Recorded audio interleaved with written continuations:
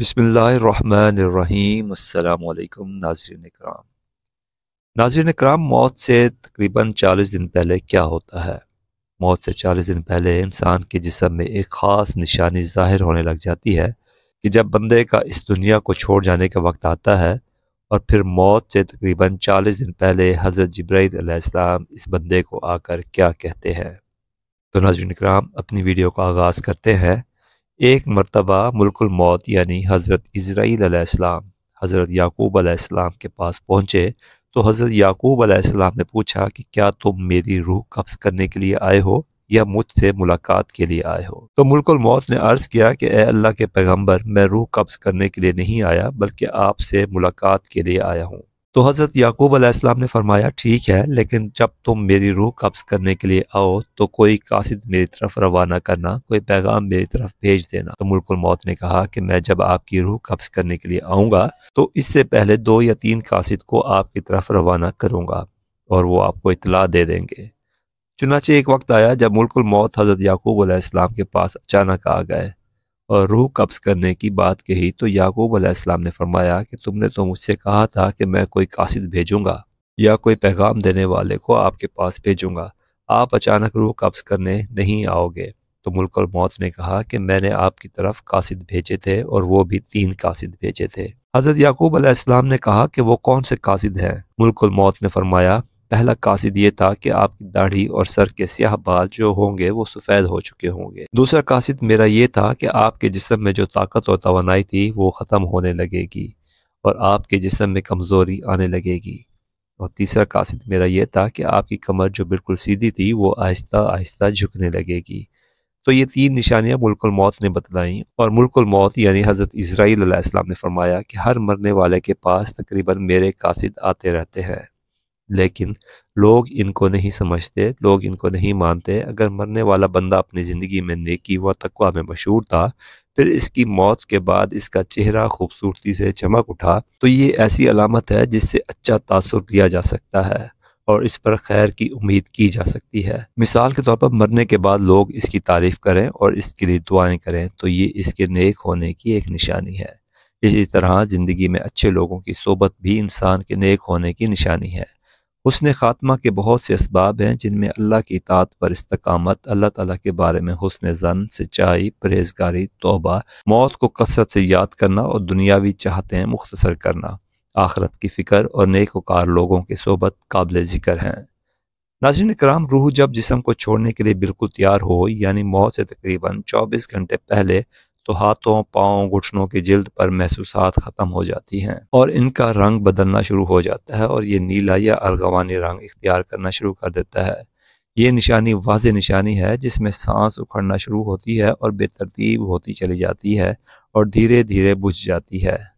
हज़रत आयशा सदीक़ा रज़ी अल्लाह से रिवायत है कि रसूल करीम सल्लल्लाहु अलैहि वसल्लम ने इरशाद फरमाया कि जब अल्लाह ताला किसी बंदे को नेक बख्त बनाना चाहता है तो मरने से पहले एक फ़रिश्ता इसके पास भेजता है तो वो इसको दुरुस्त करता है और नेक अमल की तरफ़ ख्वाहिश दिलाता है। यहाँ तक कि वो नेक हालत में मरता है और सब लोग कहते हैं कि ये शख्स नेक हालत में मरा और जब मुल्कुल मौत हाजिर होता है तो इस वक्त अल्लाह ताला इसकी आखरत में रहने की जगह, यानी वहाँ के सामान और राहतों को जो अल्लाह पाक ने इसके लिए मुहैया कर रखे हैं, तैयार कर रखे हैं, इसको दिखा देता है। तो इसकी रूह खुश होकर निकलने का कासिद करती है। इस वक्त ये शख्स अल्लाह ताला की मुलाकात के लिए तैयार होता है और अल्लाह ताला भी इसकी मुलाकात को पसंद करता है।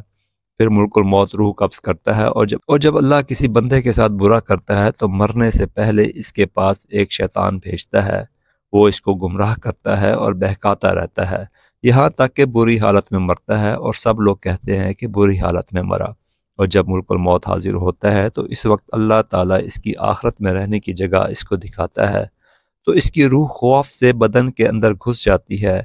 इस वक्त अल्लाह ताला की मुलाकात, यानी सामने आने को ये पसंद नहीं करता और अल्लाह ताला इसकी मुलाकात को भी पसंद नहीं फरमाता। इस वक्त अल्लाह की मुलाकात, यानी सामने आने को ये नापसंद करता है और अल्लाह ताला इसकी मुलाकात को भी नापसंद करता है। फिर मुल्कुल मौत इसकी रूह सख्ती से खींच कर कब्ज़ करता है। इस हदीस की तशरी में उलमा लिखते हैं कि मुल्कुल मौत के बुलाने पर जान इस तरह निकलती है जैसा सपेरा सांप को इसके सुराख से बुलाए और मोमिन और काफिर दोनों के जिस्मों से रूह निकलने की हालत यकसा होती है।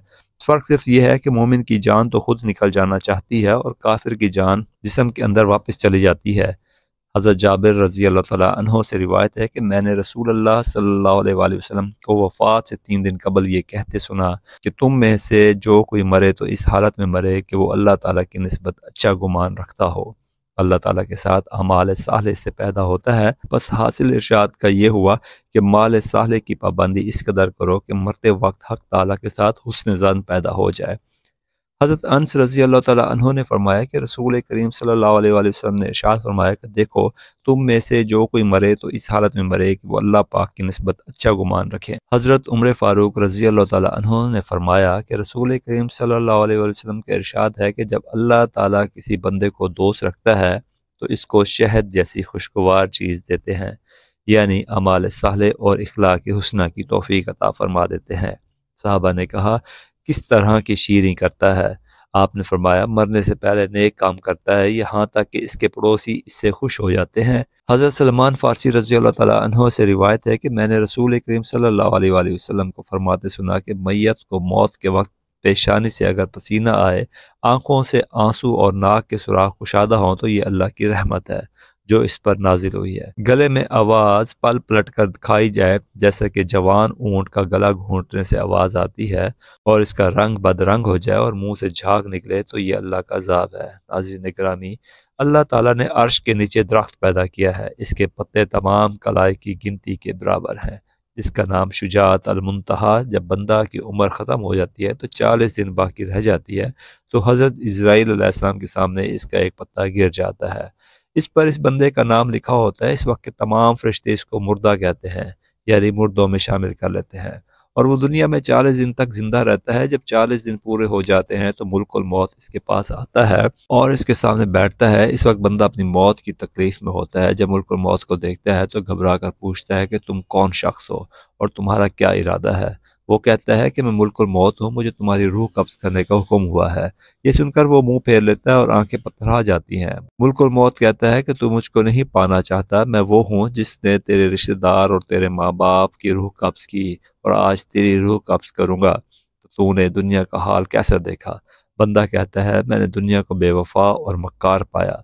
फिर अल्लाह ताला के हुक्म से दुनिया इसके पास आएगी और कहेगी कि ए नाफरमा, तूने अपने रब की किस कदर नाफरमानी की और किस कदर तूने गुनाह किए? तूने नसीहत की बहुत सारी बातें सुनी, लेकिन तुमने जाना कि हम दुनिया में हमेशा रहेंगे।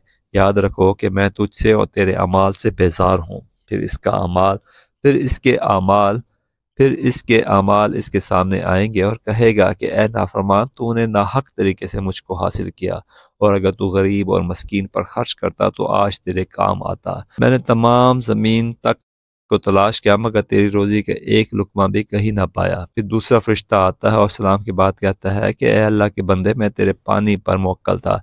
मैंने तमाम ज़मीन पर पूरा परचम तक तलाश किया, मगर तेरे पीने को एक कतरा पानी का नहीं पाया। और फिर इस तरह तीसरा फरिश्ता सलाम के बाद कहता है कि अल्लाह के बंदे, मैं तेरी सांस पर मोकल था। मैंने तमाम ज़मीन पर पूरा परचम तक तलाश किया, मगर तेरे वास्ते एक सांस भी कहीं नहीं पाई। फिर चौथा फरिश्ता आता है और सलाम के बाद कहता है कि, ए बंदे, मैं तेरी उम्र पर मोकल था, मैंने तमाम ज़मीन पर पूरा परचम तलाश किया, मगर तेरी उम्र का एक हिस्सा भी नहीं पाया। इसके बाद नामा, माल लिखने वाले दो फरिश्ते इसके पास आते हैं और सलाम के बाद कहते हैं कि अल्लाह के बंदे, हम तेरे अमाल लिखने पर मोकल थे। वो नामा अमाल इसको दिखाया जाएँगे और कहेंगे कि देखिए तेरा नामा अमाल है। इस वक्त मैयत की आँख से आँसू जारी होते हैं और दाएँ बाएँ देखता है। और नामा अमाल पढ़ने से डरता है। इसके बाद मुल्कुल मौत इसकी रूह कब्ज करते हैं। रिवायत में है कि रबी बिन अंस रहमत से किसी ने पूछा कि मुल्कुल मौत तनहा ही सबकी रूह कब्ज करते हैं या इनके साथ और फरिश्ते भी काम में शरीक होते हैं? तो फरमाया कि रूह कब्ज करने का काम इन्हीं के हवाले है, लेकिन इस काम पर इनके साथ बहुत से फरिश्ते मदद के वास्ते दिए गए हैं। और मुल्कुल मौत इनके सरदार हैं। इनका हर कदम दुनिया के परचम के बराबर है। फिर रबी बिन अंस से पूछा, मोमिनीन की रूह कहाँ रहती है? फरमाया, सातवें आसमान के ऊपर सिदरतुलमुनतहा के पास। हज़रत अबू हुरैरा रज़ी अल्लाह से रिवायत है कि सरकार दो आलम सल्लल्लाहु अलैहि वसल्लम ने इरशाद फरमाया, जब इंसान मर जाता है तो इसके अमाल के सवाब का सिलसिला इससे मुनकता हो जाता है। मगर तीन चीज़ों के सवाब का सिलसिला बाकी रहता है। नंबर एक, सदका जारिया। दूसरा, रास्ते में पड़ी ईंट, जिससे राहगीर नफ़ा हासिल करे। और नंबर तीन, साल औलाद जो मरने के बाद इसके लिए दुआ करे। ऐसे अमाल जिनका ताल्लुक दुनिया की ज़िंदगी से होता है, इनके असरात मरने के बाद दुनिया में ही ख़त्म हो जाते हैं। अल्लाह तबारक ताली हमें नेक अमाल करने की तोफ़ी अता फ़रमाए और हमारा ख़ात्मा ईमान पर फरमाए। आमीन या रब्बुल आलमीन।